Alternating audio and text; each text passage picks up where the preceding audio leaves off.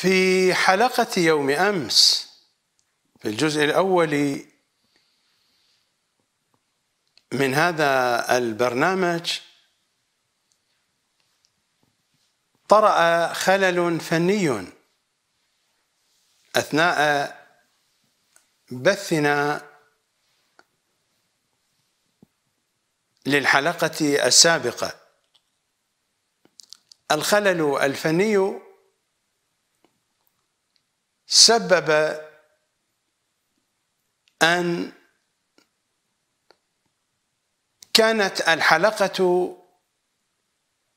ليست مكتملة. وأعرضت عن بعض الكلام فجاء التقديم ناقصا بعض الشيء خصوصا في أواخر الحلقة فيما يرتبط بأخبارنا بأخبار مؤسسة القمر للثقافة والإعلام. لذا سأعيد وبنحو مجمل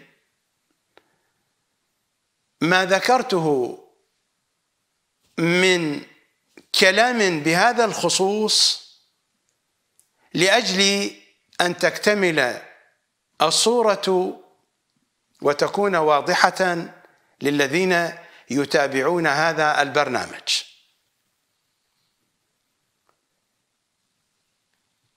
اولا قلت من أننا في مؤسسة القمر للثقافة والإعلام جعلنا يوم أمس إنه الخامس والعشرون من شهر شوال يوم شهادة إمامنا الصادق صلوات الله وسلامه عليه جعلنا منه يوما أن ننشر راية صممت لمؤسستنا هذه. أن ننشرها في يوم شهادة إمامنا الصادق وأن نرفعها. عرضت لكم تصميم راية مؤسسة القمر للثقافة والإعلام وشرحت لكم دلالتها الرمزية. بشكل سريع أقول الراية أرضيتها بيضاء. اللون الأبيض هو اللون الرمزي لمحمد وآل محمد ولذا يقال لهم المبيض لمحمد وآل محمد ويقال لشيعتهم المبيض. في مواجهة المسودة العباسيون. اللون الأبيض رمز لآية التطهير لآية النقاء لآية البياض إنها آية التطهير. ولذا فإن من معاني الزهراء البيضاء ومن معاني الحوراء ففاطمة هي الزهراء الكبرى وهي الحوراء الكبرى. ومن معاني الحوراء البيضاء الحوراء البيضاء. النقية الشديدة البياض هي الحوراء. اللون الأبيض رمز لنقاء عقيدة محمد وآل محمد. رمز لنقاء منهجهم. ورمز لهم. اللون الأبيض مضمون آية التطهير في عالم الألوان. وهذه الراية زينت بسطرين في كل سطر. في وسط الراية يتكرر اسم الأمير سبع مرات.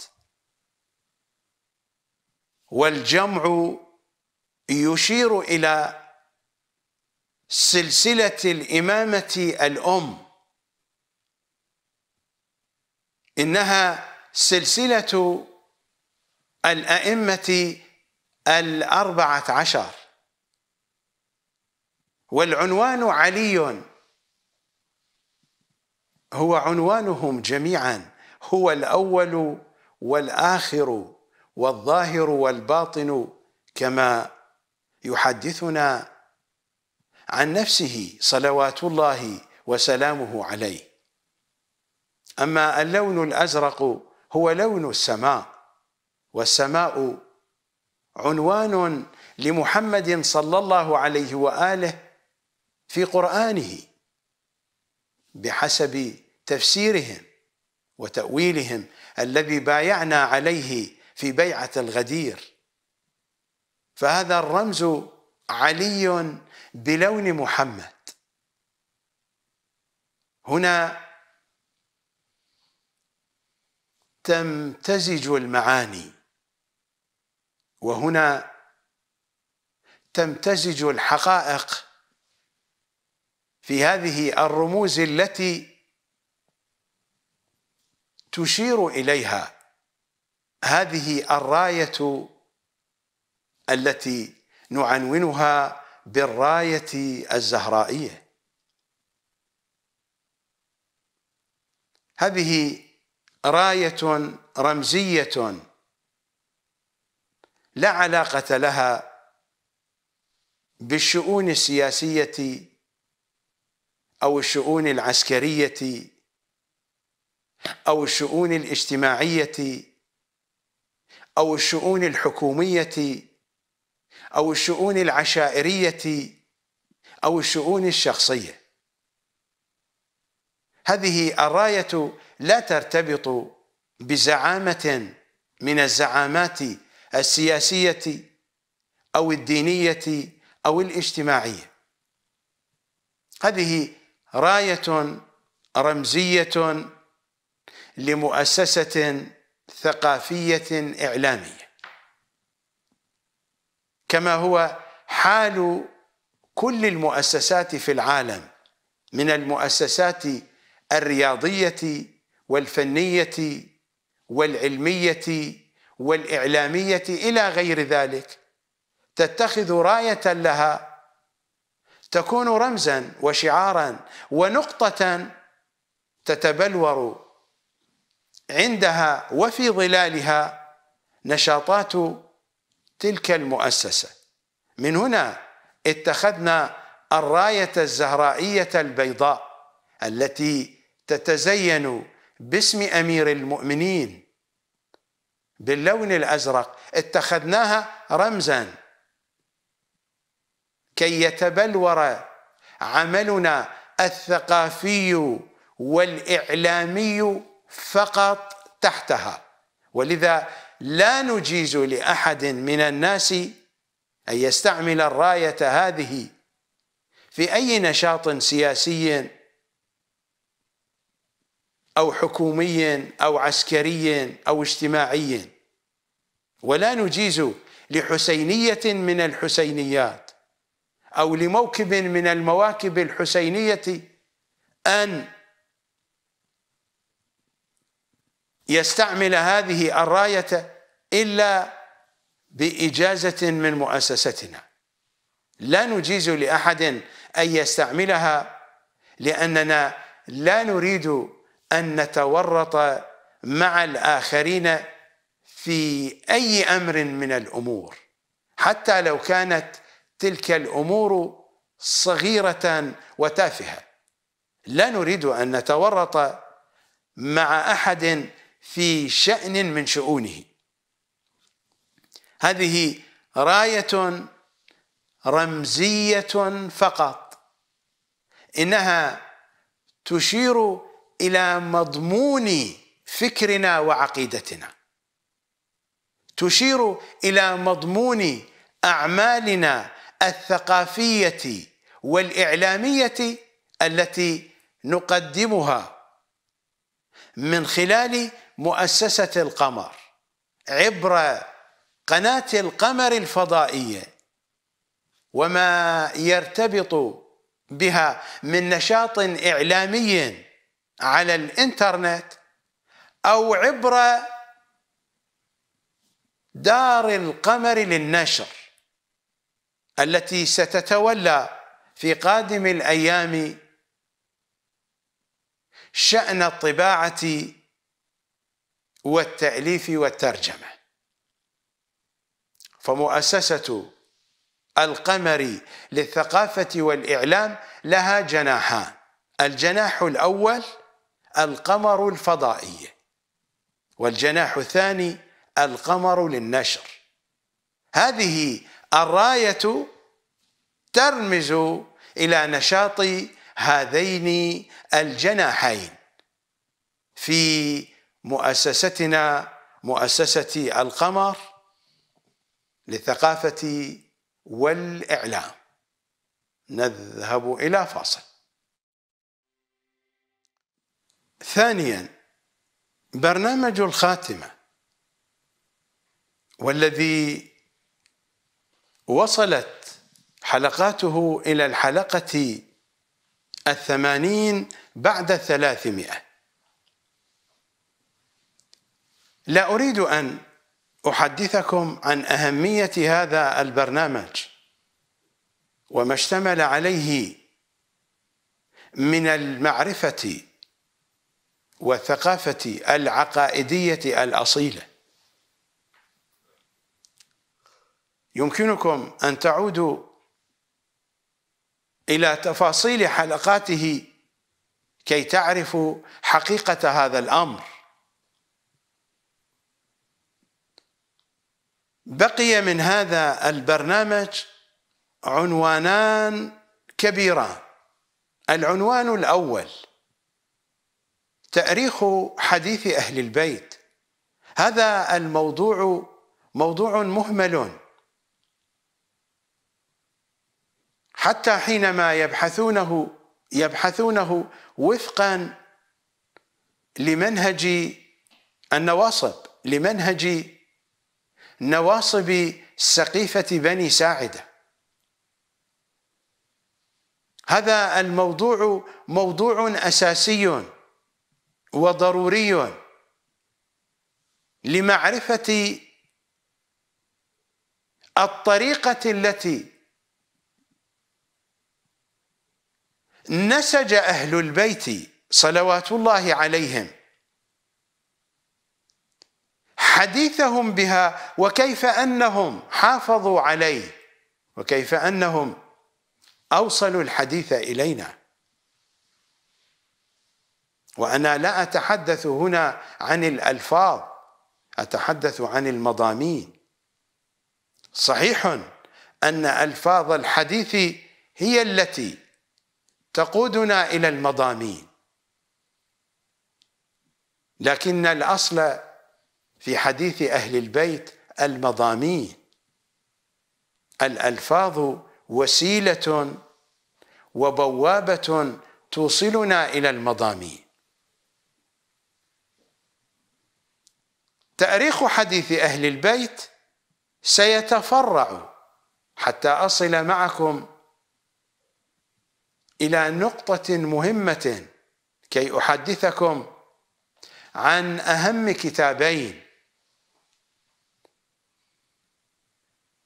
إنني أتحدث عن كتاب سليم بن قيس وعن تفسير إمامنا الحسن العسكري لأن مراجع الشيعة حاربوا هذين الكتابين حربا شعواء. سأسلط الضوء على هذين الكتابين لأن الكتاب الأول أقصد كتاب سليم يفضح سقيفة بني ساعدة. أما الكتاب الثاني فإنه يفضح سقيفة بني طوسي ولذا فإن حرب مراجع النجف وكربلاء أشد على الكتاب الثاني. لقد حاربوا تفسير إمامنا الحسن العسكري بطريقة أشد مما حاربوا كتاب سليم بن قيس. كتابان مهمان جدا. الكتاب الأول كتاب سليم يفضح سقيفة بني ساعدة.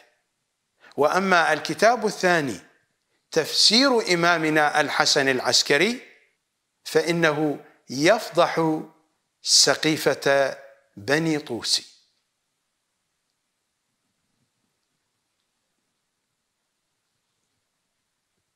هذا ما يرتبط بالعنوان الأول تأريخ حديث أهل البيت. وأما العنوان الثاني المنهج العلوي في التفسير.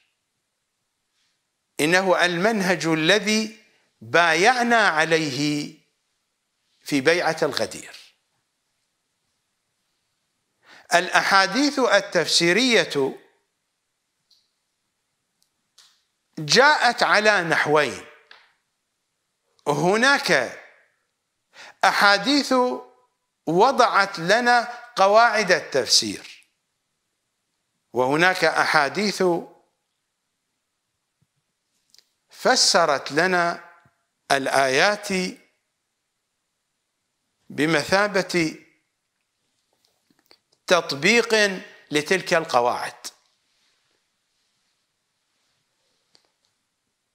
إذا ما جرت الأمور بأسبابها ووصلت معكم إلى هذا العنوان المنهج العلوي للتفسير فإنني سأبين لكم تفاصيل هذا الموضوع قطعا بحسب ما يسنح به المقام فهذا الموضوع موضوع مفصل ومضطرد كثير الجوانب وفير الأبواب تفاريعه تقود إلى تفاريع. هذان العنوانان الرئيسان الكبيران هما العنوانان المتبقيان من برنامج الخاتمة. إذا سنح الوقت في قادم الأيام سأكون في خدمتكم في طرح هذه المطالب المهمة بين أيديكم. قطعا سيعلن عن الوقت في حينها عبر هذه الشاشة وعبر مواقعنا على الشبكة العنكبوتية. كما هو الحال في سائر البرامج المهمة التي تقدم عبر هذه الشاشة. ثالثا برنامج جديد سأقدمه في خدمتكم في قادم الأيام. سنعلن عن وقته حينما يحين الوقت عبر هذه الشاشة وعبر الإنترنت. الرسالة العملية الزهرائية الموجزة المتلفزة والتي عنوانها فتاوى زمن الانتظار.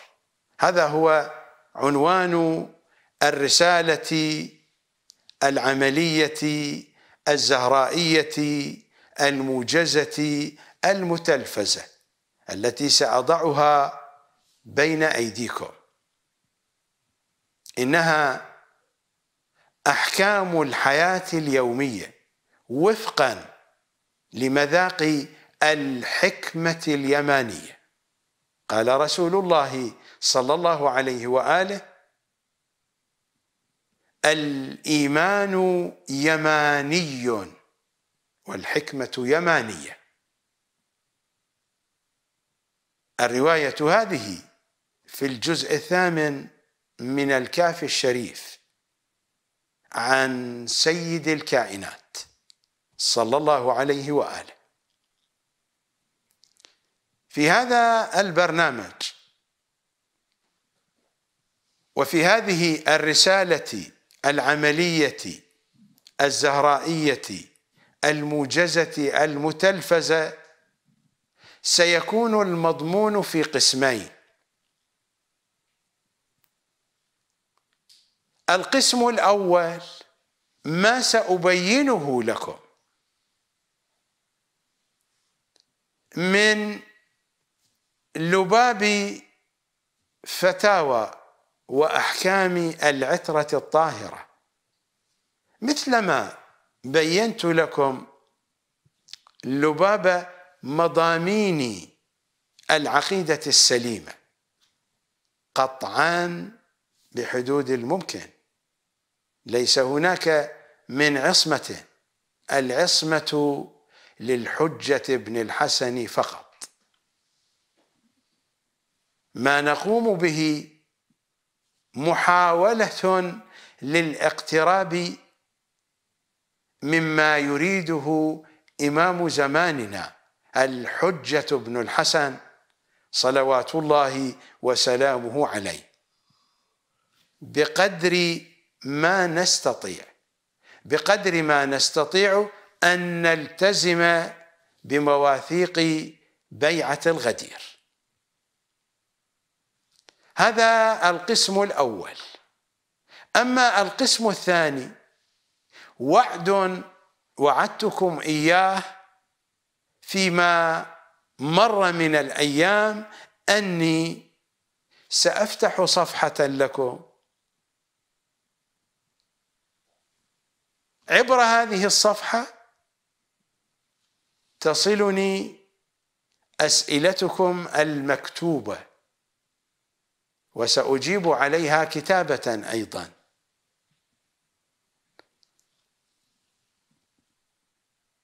قطعا ستكون الإجابات بحسب الممكن فأنا لا أستطيع أن أجيب على عدد كبير من الأسئلة في وقت ضيق وفي وقت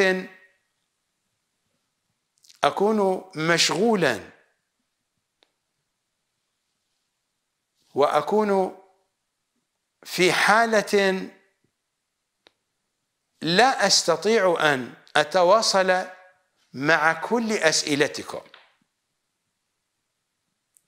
عبر هذا البرنامج سأجيب على أسئلتكم المكتوبة بأجوبة مكتوبة. ستنشر على الإنترنت وسننشرها اولا عبر هذا البرنامج. عبر برنامج فتاوى زمن الانتظار إنها الرسالة العملية الزهرائية الموجزة المتلفزة. نذهب إلى فاصل.